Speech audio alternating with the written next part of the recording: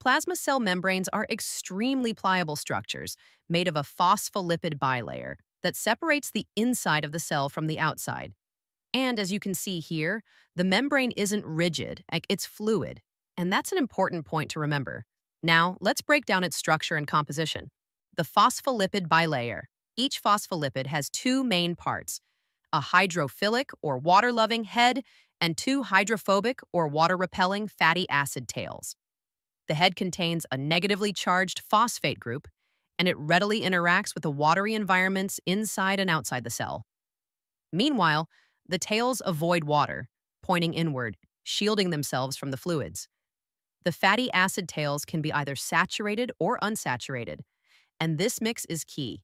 It creates kinks and spaces between the molecules, keeping the membrane flexible instead of rigid. Because of this dual nature, a polar head and nonpolar tails, phospholipids are called amphipathic molecules. This structure gives the membrane one of its most important properties, selective permeability. In simple terms, it lets some substances through and blocks others. Small, nonpolar molecules, like oxygen and carbon dioxide, move across easily. Lipid-soluble substances, too. But larger or charged molecules, like glucose and ions, can't pass on their own. They need special transport mechanisms, mainly handled by integral membrane proteins. The membrane isn't just made of phospholipids, it's also packed with cholesterol molecules. These molecules slot themselves between phospholipids, acting as stabilizers, keeping the membrane from becoming too rigid and cold or too fluid in heat. Now, onto membrane proteins. They come in two main types integral proteins, embedded within the bilayer, and peripheral proteins, attached to the membrane's surface.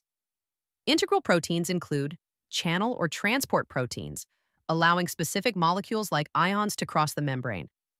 Receptors, which bind to molecules outside the cell and trigger internal signaling cascades, like second messenger systems. Glycoproteins, which have carbohydrate groups attached. These help with cell-to-cell recognition and communication. A major structure involving glycoproteins is the glycocalyx, a sticky meshwork outside the cell. It plays roles in cell binding, hormone reception, and nutrient breakdown near the cell surface. Peripheral proteins, on the other hand, sit on either side of the membrane. They often perform specialized tasks, like digestive enzymes in the intestinal tract. And don't worry, I've got a whole video coming up diving even deeper into membrane proteins, so stay tuned.